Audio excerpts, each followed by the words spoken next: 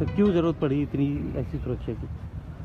मुझे ताजुब है कि जब 26 तारीख को जिस प्रकार से जो ट्रैक्टर्स का इस्तेमाल किया गया था, सभी पुलिसकर्मी पे चढ़ा करके बैरिकेड को तोड़ करके सब कुछ किया गया तो आप उस समय आपने कोई सवाल नहीं किया। हमने क्या किया? है हमने उस बैरिकेड को मज़बूत किया। है सिर्फ़ मज़बूत किया है ताकि बारंबार उस उसको तोड़ा ना जाए। सर ये तैयारी पहले भी तो हो सकती थी आगे।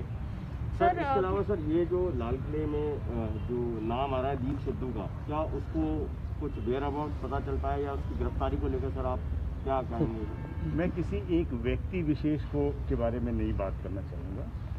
और ये इन्वेस्टिगेशन का अ, का मसला है। तो इसलिए किसी व्यक्ति विशेष या और इसको ज़्यादा डिटेल में बताने की ज़रूरत नहीं है मुझे समझता। मैं बस इतना ही कहना चाहता हूँ कि जिसका भी इसमें शमूलियत है जो लोग भी इसमें भाग ले रहे हैं। आपने देखा होगा कि अ, हमने एक जनता से अपील की कि हमें वीडियोस और फोटोग्राफ भेजा जाए।